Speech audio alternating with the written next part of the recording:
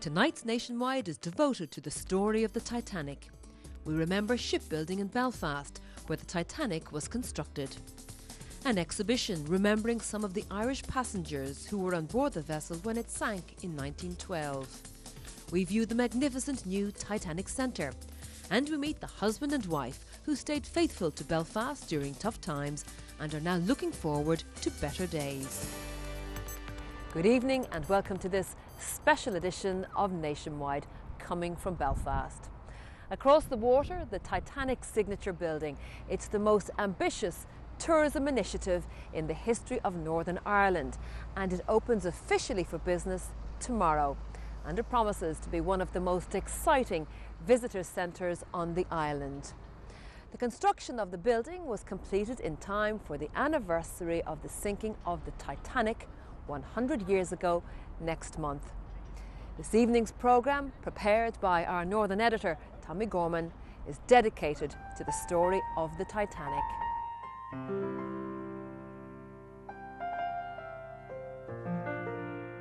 The views from Cave Hill give a sense of why location has been such an influential factor in the modern history of Belfast. At the mouth of the River Lagan, with instant access to the sea, the city was the perfect location for a shipbuilding industry. The iron and steel had to be imported, but the workforce developed a reputation for quality. For a time, the exploits of the Harland and Wolff Company made Belfast the most important shipbuilding centre in the world. On these very days, 100 years ago, a vessel that had been built and launched in Belfast was preparing to make its first transatlantic journey. As the world knows, the Titanic never made it to New York. After colliding with an iceberg, what was then the world's largest liner sank on April the 15th, 1912, with the loss of 1,517 lives. A century later, Belfast is preparing to revisit the Titanic story. Belfast's shipbuilding tradition is charted in an exhibition running at the Ulster Folk and Transport Museum, five miles from the city. Harland Wolff had been building ships for the White Star Line for uh, sort of over 40 years prior to constructing Titanic. We have photographs in our collection which show the workforce uh, leaving the shipyard. There were uh, upwards of nearly 15,000 employees at the yard when uh, in 1912. Um, by the early 1900s, you know, it was the largest shipyard in the world. In many respects, it was almost the Cape Canaveral of its day. Um, all of the different skills that were uh, that were required to build a ship were concentrated on uh, Queen's Island. The majority of the worker bees in the industry, the skilled craft workers, came from the streets of terraced houses in East Belfast. Generation followed generation into a job at the yards. When that cycle of guaranteed employment ended, it had profound consequences. Well, this is very much a working class area, and there would have been a tradition in this area of people who would have lived here, they would have worked in the shipyards, the women worked in the mills, some of the men would have worked in Sirocco works, but predominantly the people here would have been hard working um, sh- shipyard workers, and their sons would have also been in the yard as apprenticeships. So, education, as an example, wasn't highly esteemed in this area because, as my father said to me, don't worry about further education, go out and earn a few bob, get the money in for your mother or whatever. And that would have been the, very much the tradition. In 1912, there were 15,000 people that actually worked in, in Harland on, on, on the Titanic. And something like over 3,000 of those people would have been Catholics.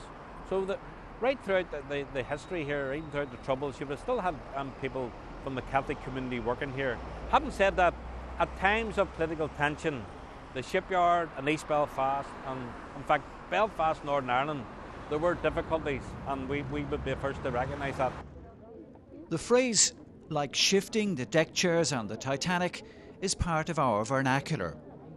James Cameron's 1997 film, The Titanic, grossed $1.8 billion. It was, in fact, the first film to reach the $1 billion mark, and its success was a reminder of the worldwide interest in the Titanic story. In the County Tyrone countryside, 70 miles from Belfast, the Ulster American Folk Park is making its contribution to the programme of Titanic centenary events. The Folk Park is staging an exhibition to tell the human stories of the 113 passengers from what was then a 32 county Ireland who boarded the Titanic in Cobh, or Queenstown, as it was known a hundred years ago. This is um, a remarkable image. Um, it's the final moments of our Titanic, our third class Titanic passengers as they leave Ireland to board Titanic. They're on the tender America, that's bringing them out. As well as bringing passengers out to Titanic, these tenders brought out the mail. There's over 1,300 mail bags here, letters all going to America, letters from Ireland to America. And when the ships would come back in, of course, there would, there would be the same, same amount of letters coming back from family, friends, um, you know, explaining what conditions were like, possibly sending money. Now, this is 1912, and 30,000 people are actually leaving Ireland that year. But on the 11th of April, uh, 113 of them would leave from Queenstown. The first thing that you see from the map is that most of the Titanic passengers came from a line below here. Uh, the reason for this is because we had a port in Moville and we had a port in Belfast, and there was a number of sailings from both those ports. So, in general, people in the northern third of Ireland were drawn towards those two ports, whereas people uh, in the lower half of Ireland were drawn towards Queenstown. In 1912, the standard of uh, uh, travel had improved because uh, the White Star Line were very conscious that uh, emigrants were their bread and butter. So they went out of their way to make sure that passengers had a comfortable voyage. This is a recreation of a third class cabin done to scale, so it gives you a sense of the size and really how comfortable things were. We know that uh, Mary McGovern from County Cavan shared, shared with uh, two other Cavan girls. They may not have known each other, but uh, counties were inclined to stick together, as we still do even today. The girls, um, when they'd made themselves comfortable in the cabin, they would have been delighted that they'd run in water and that uh, if they didn't feel well, as another lady did, some of the friends would bring them down the fruit from the table and they could eat that in their cabin. They would, um, or even get a little bit of beef tea, which was brought to them by a steward. This is a very interesting photograph uh, of the time. This ship here that we see with the big hatch doors open, this ship here is the Carpathia, which was the closest ship to respond to the Titanic. And it was Carpathia that lifted all the survivors. And what we actually see here in the photograph is a Titanic lifeboat alongside the Carpathia. One of the Irish survivors, in particular, a Margaret uh, Devaney from County Sligo, was very lucky. She, was, she had been given a small pocket knife uh, by her brother, and when she was on the lifeboat, uh, the lifeboat got snagged up, and she, she was able to give the little pocket knife to a steward who was then able to cut, cut the ropes free and allow the lifeboat to get down into the water. There's photographs of her in her later life, still with the pen knife, and also with a wee souvenir off the lifeboat as well. This group of costume from our, our collections here in the museum uh, is telling the story of Margaret Rice and her five children. Uh, Margaret was uh, returning to her home in Montana. Um, she was a widow woman and she had come back to Athlone to settle for a while, but um, decided that it was better to go back to America and, and raise her children there. Uh, and unfortunately, they didn't survive.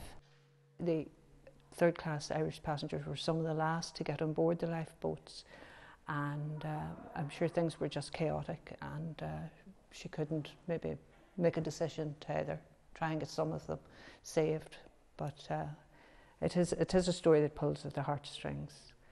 Among those lost were a County Donegal couple. He was travelling on promotion to a new job to work with Lipton's Tea in New York. His young wife was with him. His niece is still alive. Well, I'm the second youngest of nine of us, whom there's only two of us left. And of course, there was none of us on this earth when Uncle Neil was lost. But every time I look at his picture, which is every day of the week, most times I get very, very sentimental. I yearn for an uncle, always something I never had, and I, I suppose it's beyond thinking about it now, but you still do think about it, you know. He was such a wonderful man to look at his picture. The Titanic's tragic end didn't undermine Belfast's shipbuilding industry. In fact, the needs for vessels during the First World War meant the yards worked flat out in the years immediately after the disaster. Three factors eventually brought about decline. A change in US immigration policy halted the huge volumes of Europeans crossing the Atlantic. Planes rather than ships would soon become the transport of choice. And European cities like Belfast lost their prominence as centres of shipbuilding. The numbers employed here declined dramatically. Many of the sites in the area of the city known as Queen's Island fell silent. During the decades of the Troubles, attracting replacement industries was almost impossible. But in the 14 years since the Good Friday Agreement, Belfast has got back some of its confidence. The area where the Titanic was originally built and launched is part of the fight back. Beside the pump house at the old dry dock, there's a new coffee shop. New industries and administrative centres have put roots down in what's now known as Belfast's Titanic Quarter. Harland and Wolff's yards are doing some ship repair works, but they're also branching out into new age engineering ventures, like the manufacture of wind turbines.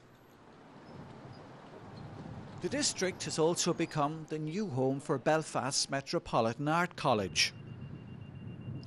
Opened in 2007 and set on an eight acre site, the Paint Hall studio has become the chosen location for several international filmmakers.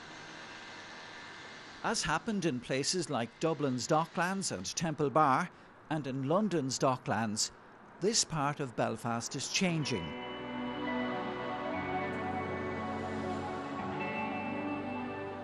The Titanic Signature Project, the most expensive single tourism investment in Northern Ireland's history, is the most dramatic gamble to date.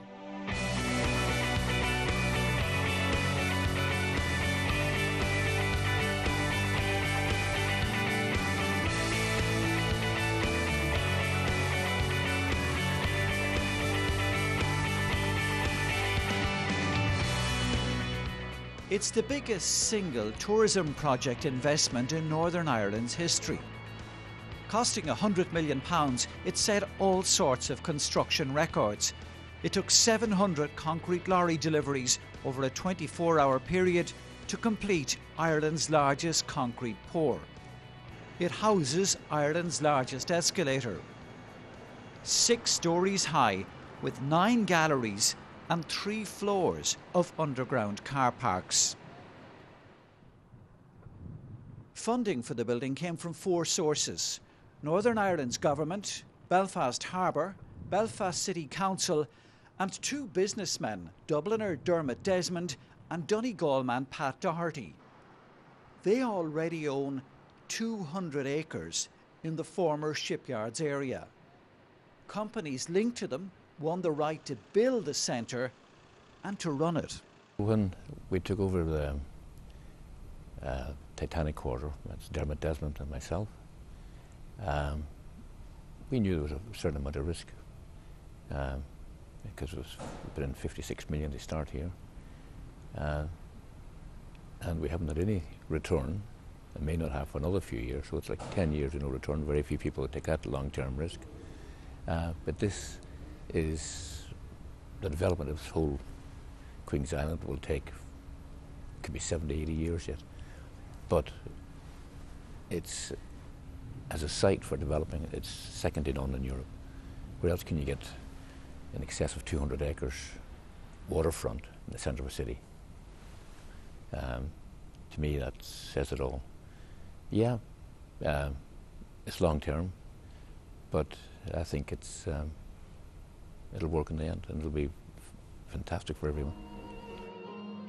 There's nothing like this project on the island of Ireland. In one place, a visitor feels on board a lift moving through the different floors of the Titanic. Another feature is the six seater car ride, giving a sense of the sights, sounds, and even the smells of where the Titanic was built. All the galleries are lined with interactive screens where the visitor can check details like the names and nationalities of the passengers on board the vessel. Another feature is the section showing the range of accommodation for the first, second, and third class passengers. The US oceanographer Robert Ballard was a key figure in the discovery of the Titanic wreck in 1985. The Visitor Centre has remarkable video footage provided by him. If you do things and you do them right and do them well, I think they work. What most happens, you people don't finish a lot of stuff to the full extent to make it attractive. Um, and I think that's what we've done here. We've, with the help of everybody from the government, the council, the harbour, all contributed to this. And I think in time to come, this will speak for itself. This will be um, a draw of tourists, I hope, for the next hundred years. And about that moment of time, the ship took her last plunge. Yes. In another area, video screens and audio recordings are used to restage the two inquiries that were carried out into the disaster. Had I been asleep, I do not think it would have wakened me. An engineer from County Offaly had the role of project manager. People ask me what did I know about the Titanic. I knew it was made here in Belfast or built here in Belfast down through the years. But um, seeing all the international companies coming here and, and realising the, the extent and the reach that the Titanic story has around the world in Abu Dhabi, in China, in Argentina, all those people were here to talk about the Titanic story. More, more people know about the Titanic than know that it was built in Ireland.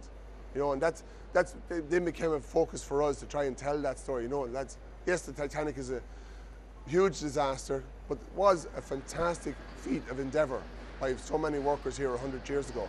But it was also by, a feat of endeavour by Irishmen, built, built by Irishmen, and that's, that's a story that we want to get across, I think, and start telling people. It became a, a project that we wanted to deliver.